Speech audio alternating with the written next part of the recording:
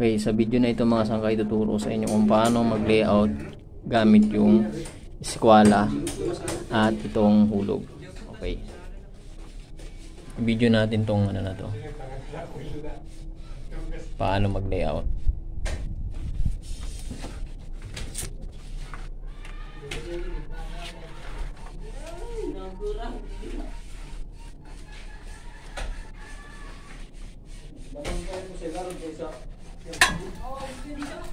May mga sangkay dito, ang gagawin natin ay para makuha natin yung uh, eskwala. Labas doy. Yung perfect na hulog, gumagamit tayo ng eskwala. Yan. Para hindi po tayo mahirapan pag tayo ay nag-tiles. Yan, ganyan pong gagawin natin. Para makuha natin yung 90 degrees. Maka pala dyan. Para kapag ka tayo ay Pasok, nag-tiles, soldado.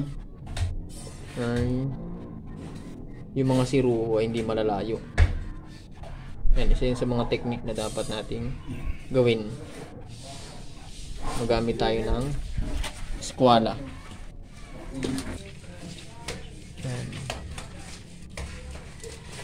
Tapos niyan mga sangkay, lalagyan natin yung hulog.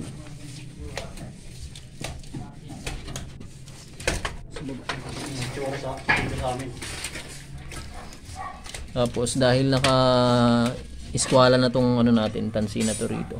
Ito yung magiging base natin. Hindi tayo kukuha ng reference. Kung ilan ang sukat dyan. Ganon din sa taas. Da.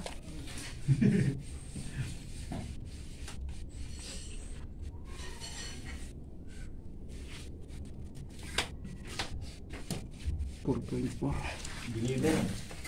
Tayo doon sa baba ay mula rito sa tansi na to hanggang doon sa hulog natin ay 4 cm.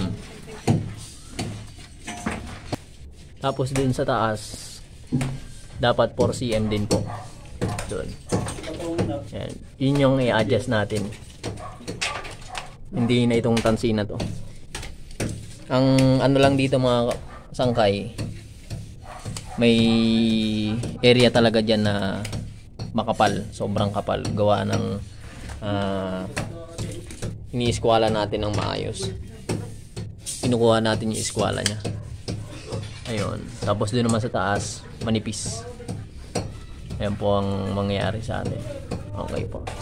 Basta't pagka iniskwala nyo tong pader natin, halimbawa iniskwala nyo to, itong tansi na to. Ito na sa eskwala. Huwag kayong mag adjust dito. Ang mag adjust dyan, doon sa baba.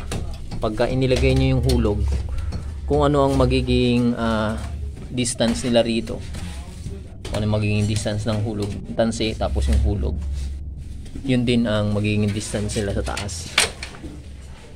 Yung at yung na to, at yung hulog natin. Yun. Kasi, ang technique natin dito, kinukuha natin yung tamang eskwala ng pader. Para kapag ka nag-tiles tayo, hindi tayo mahihirapan. Yung mga siruho, hindi pangit. Kung ano yung distance ng siruho, halimbawa, mga ganyan lang kaliliit yung pagitan. O kung ano man ganyang kalalaki man yung siruho natin sa tiles. Ay hindi pangit. Mga sangkay daw po yung distance natin dito sa taas mula rito ay sa baba mula rito sa tansi natin hanggang doon sa hulog natin ay 5.5 ganyan yung distance niya. Kailangan doon sa taas yung tansi natin mula ron yung tansi natin sa taas ay 5.5 din yung distance sila. Ibig sabihin nasa eskwala na rin yung taas natin o nasa hulog. Ganyan po. Para makuha natin yung perfect na 90 degree yan. Same na sila. 5.5 cm. Yan. Kung ano yung ginawa natin doon sa baba, ganun din po rito sa taas. Ibig sabihin, pati itong taas ay nasa eskwala na rin. Yan. Hindi tayo, pagka tinignan yung pader natin ay hindi pangit. Kasi gumamit tayo ng eskwala gumamit rin tayo ng hulog sa pagle-layout natin.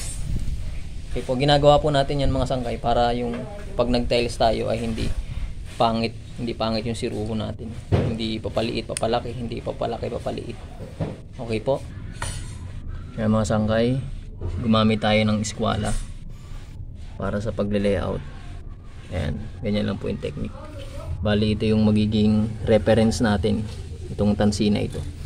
Kinukuha natin yung ah, eskwala ng pader na ito para kapag uh, magta-tiles tayo, hindi tayo mahihirapan o pangit yung ating mga siruho.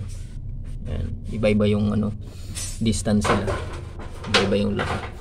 Ayan, sa layout na ito, sa palitada na ito, maganda tayo maganda yung tiles na kalalabasan nito kapag tayo ay nag-tiles. Okay? Ganito lang po yung unahin natin. Tansian natin tong ibaba. Tapos eskwalahan natin. Tapos pasunod din natin kung saan papatak tong eskwala natin, kung saan papatak. Doon natin ilagay yung tansi natin. Ayan, ganyan. Ididikit natin sa pader. Tapos ganun din dito. Yan. Para maganda, maayos. Tapos yung kanina ilalagay na natin tong hulog natin. O, dito. Kung ano yung magiging distance ito sa baba. Ganun din po roon sa taas. Okay, ganyan lang po yung step by step niyan. Okay po. Yan, maraming salamat po.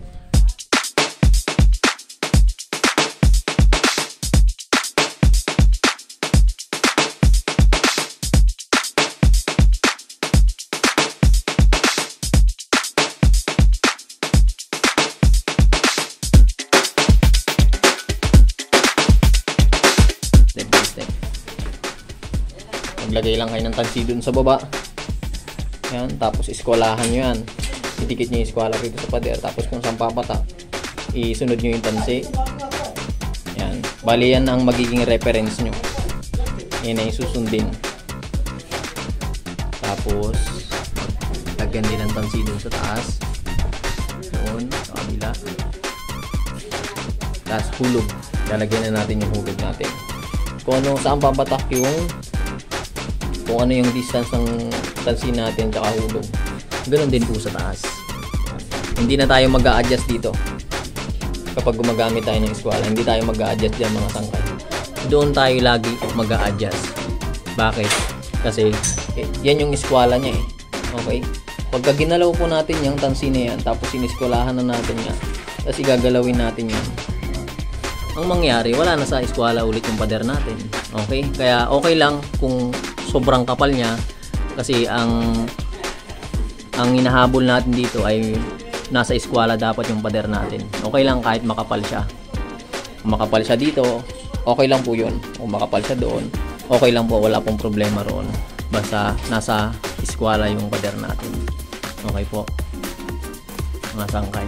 Ganun lang po. Yung mga dapat ninyong uh, isaalang-alang. Kasi kinukonsider natin dito yung magta-tiles at yung magkikisame. Yan, hindi sila mahihirapan. Lalong-lalo na yung mag uh, i-skim coat.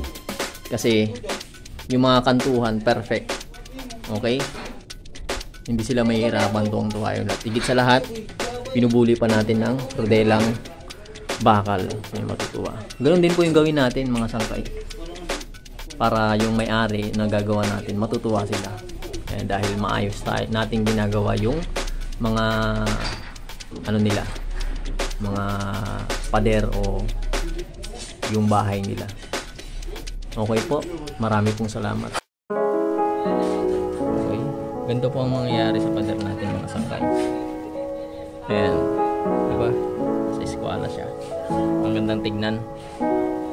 Okay po.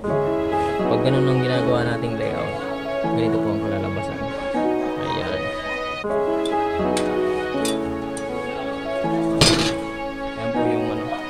product natin. Ayan. Yun yung pader diba? Perfect. Kabila. Din.